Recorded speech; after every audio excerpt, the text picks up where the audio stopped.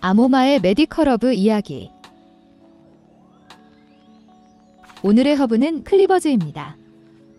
Cleavers는 몸의 독소나 노폐물을 배출해주는 허브로 임파계에 좋은 대표적인 허브입니다.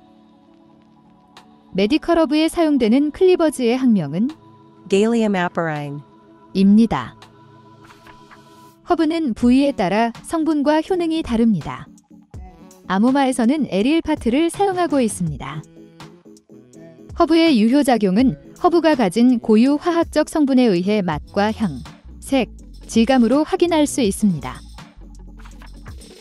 Galium aparine 잎의 식물화학적 화합물은 페놀, 탄닌, 알칼로이드, 사포닌, 플라보노이드, 쿠마린 등이 함유되어 있습니다. Galium aparine은 림프 강장제 및 클렌저, 이뇨제로 이용되며 몸의 독소, 노폐물 배출을 촉진시켜 자기 치유력을 높여주는 허브로 면역력을 높여줍니다.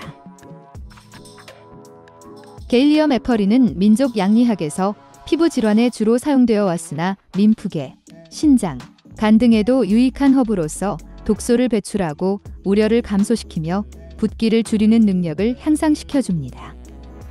본 내용은 British Herbal Pharmacopoeia Monographs와 미국 국립의학도서관의 문헌 자료를 참고하였으며 기타 연구 자료를 기반으로 쓰여졌습니다. medical 허브의 마시는 방법 등 더 자세한 내용은 아모마 자연주의 홈페이지에서 확인할 수 있습니다.